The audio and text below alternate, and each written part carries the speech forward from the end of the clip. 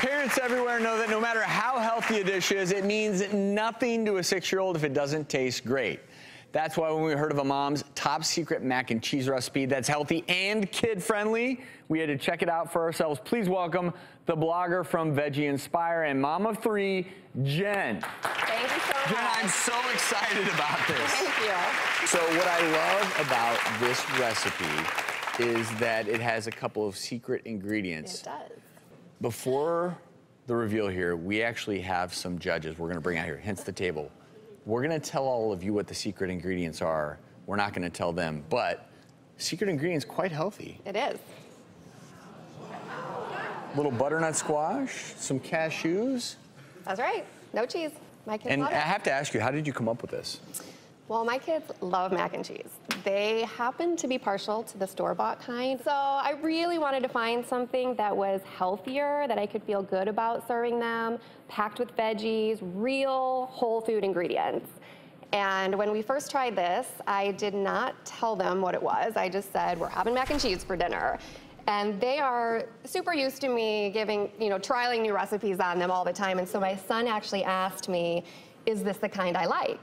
And doing what any good mother would do in that situation, I said, yeah.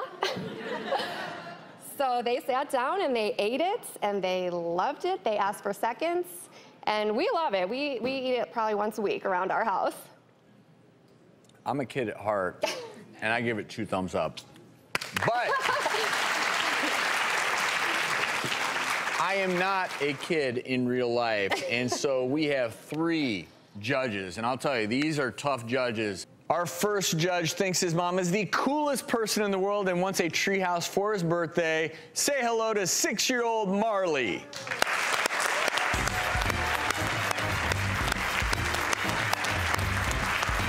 Next is the five-year-old daughter of our very own executive producer, Patty Ciano. If given the choice, she'd eat mac and cheese for the rest of her life. And when asked what she wants to be when she grows up, she'd like to be a teacher and a doctor. Please welcome the lovely Miss Sophia. Sophia, can I get a kiss?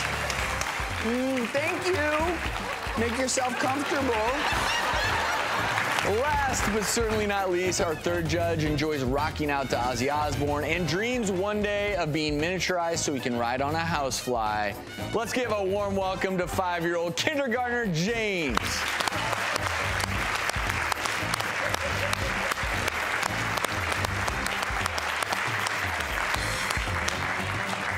Okay, so you all have paddles. Sophie, will you show that to everyone out there? Okay, so this, this is the yummy side. So if you like this mac and cheese, you hold up the yummy side. This is the yuck side. If you don't like it, hold up the yuck side. All right. So you each have a bowl, Looks good, right? and supper is served, kids, so dig right in.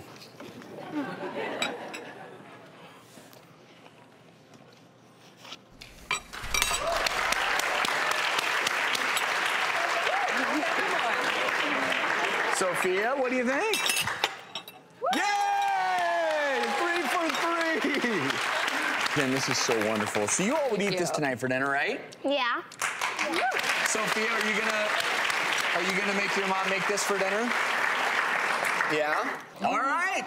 Eat up. Hey, for the complete recipe for Jen's butternut mac, visit our website, thedoctorstv.com. And Jen, I want to thank you. Thank you. What a great recipe. What a great idea.